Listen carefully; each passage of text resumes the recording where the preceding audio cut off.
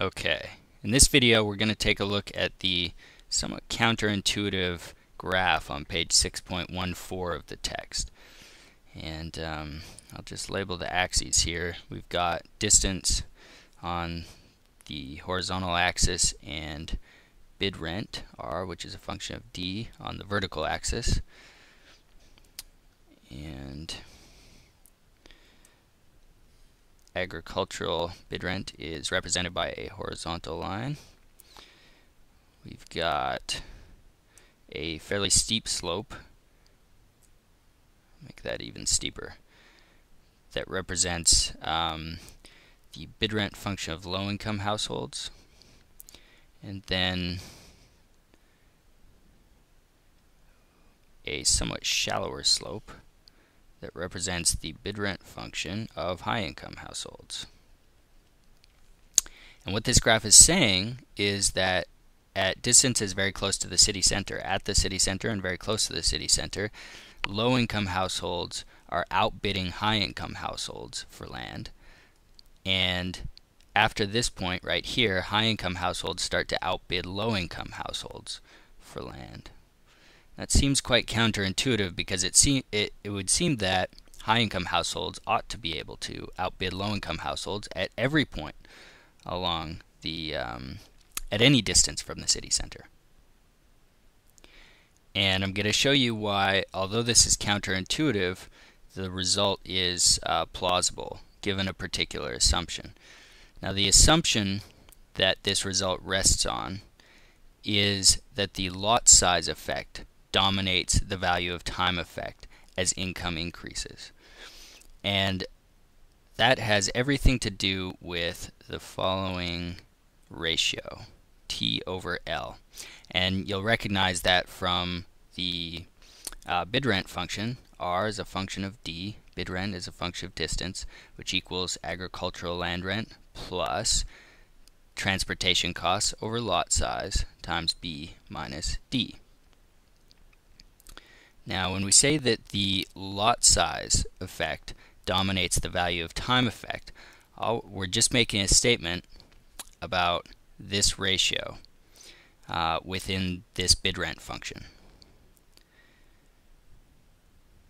And I'll show you what I mean. So, we've got T over L, and that equals something. So this, this ratio has some numerical value. And as income increases, the value of time, use a different color, value of time will increase, right? Uh, if your income increases, then it's more expensive for you to commute because of the opportunity cost of sitting in your car. Um, and that increases x, the value of the ratio.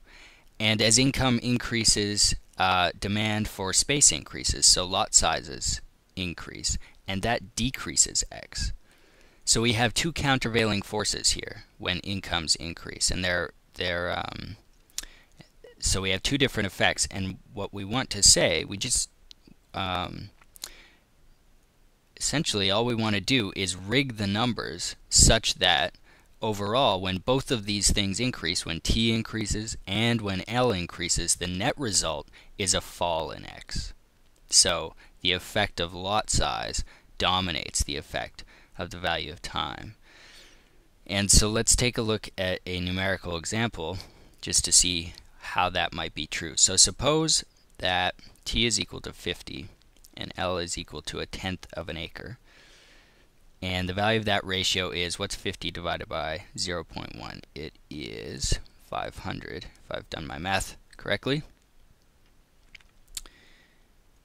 And now let's uh, increase, suppose income has increased for um, a given household, and let's increase the numerator. So let's change that to, I'll use a different color just to keep these distinct. I'll change that to 60, and we'll leave the denominator the same for now, just to see what happens.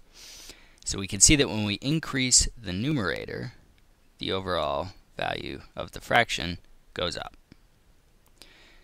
Now, Let's try leaving the numerator the same, changing the denominator. So let's change it to uh, 0.5. And this is going to be 100. So you can see when we increase the, uh, the lot size, the value of the fraction goes down, all else equal. Now, all we want to, to do is choose these two numbers.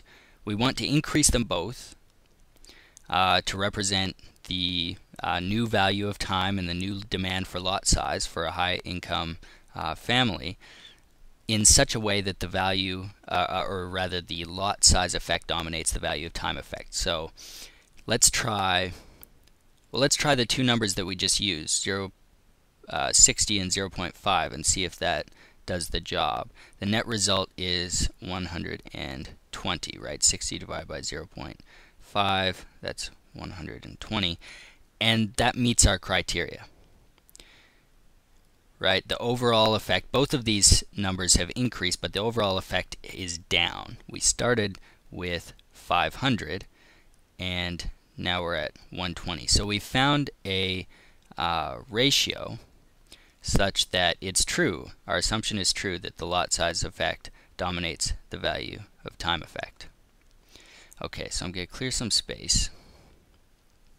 We don't need this any longer.